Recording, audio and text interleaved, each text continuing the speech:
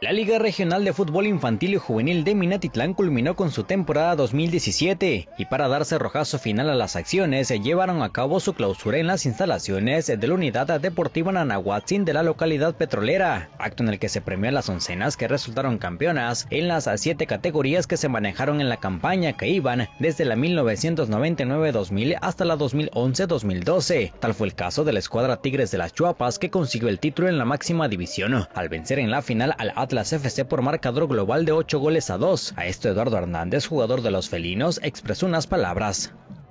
No, pues la verdad fueron tres años de lucha intensa para ganar este título. Se lo digo más que nada a mi papá, a mi familia y pues vamos a disfrutar mucho porque esto lloramos mucho por esto y pues nos deseamos mucho, nos estamos muy felices por esto. La competencia es muy reñida, pero pues más que nada pues estamos muy felices de esto ya que lo estábamos, la neta lo, lo soñábamos esto porque fueron muchos gastos, mucho, mucho tiempo invertido y todo. La verdad es una felicidad muy grande para mí y para todos mis compañeros. En este evento también se premió a todos los goleadores del torneo, siendo Emir Martínez del Atlante Mina categoría 2001-2002 uno de los mejores artilleros con 20 anotaciones, ariete que se dijo contento por el lugar obtenido.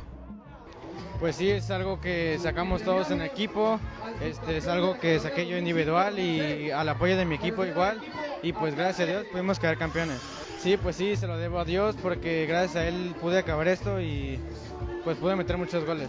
Los demás equipos que se acreditaron el primer lugar en el certamen fueron CDK en la categoría 2011-2012, de la 2009-2010 Flechadores, Rotalif en la 9-10 y 11-12 años, mientras que el Atlante y Pachuca se quedaron con el campeonato en la 2001-2002 y 2003-2004 respectivamente.